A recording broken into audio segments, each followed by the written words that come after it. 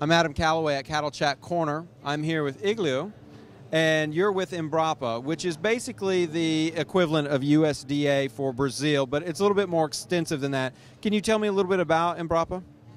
Uh, in Embrapa, we can tell like uh, like USDA, they have a research in the uh, United States. Embrapa, it's the Brazil Agricultural Research. It's uh, a little bit less on extensive. It's more on uh, uh, research about beef cattle, dairy cattle, uh, soybeans, everything related with agriculture. Embrapa is gonna have uh, some researchers to talk about it. Can you sort of give me a broad overview of uh, agriculture, uh, Brazilian agriculture, and what it's like, and what are some of the issues you're facing? Well, right now we can tell, like, uh, on the perspective of uh, bovine, for beef cattle, let's say, we we can tell Brazil it's head up in the world for Brazil exporting on meat, and uh, for live animals right now it's the second largest uh, in numbers of beef cattle, and uh, not just only beef cattle, but bovine. And for agriculture, as we know, and uh, I'm going to talk a little bit about Embrapa. And uh, Embrapa came in around 1970s, and Brazil was importing most of the feed to Brazil.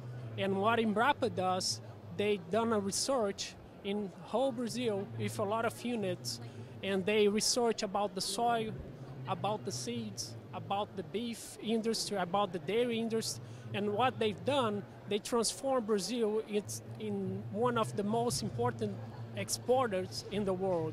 So in about 30 to 40 years, we see a country that came from importing feed to export feed to the world.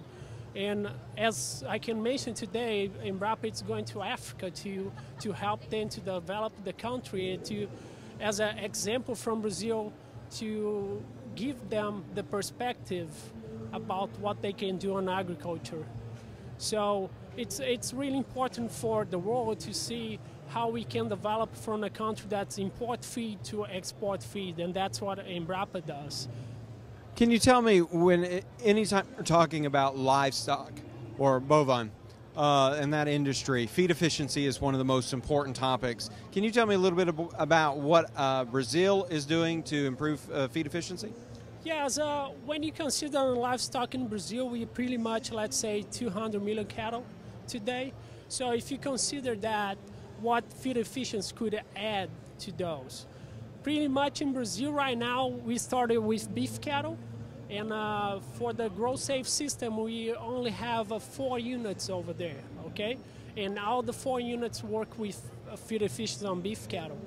In uh, Brazil with Embrapa too, they are starting work with dairy cattle. What the feed efficiency is going to bring to, to Brazil, and not only for Brazilians, for the whole world, it's like to produce beef or to produce milk with less resources, less feed, and that it's it's not only economics. You're gonna spend less.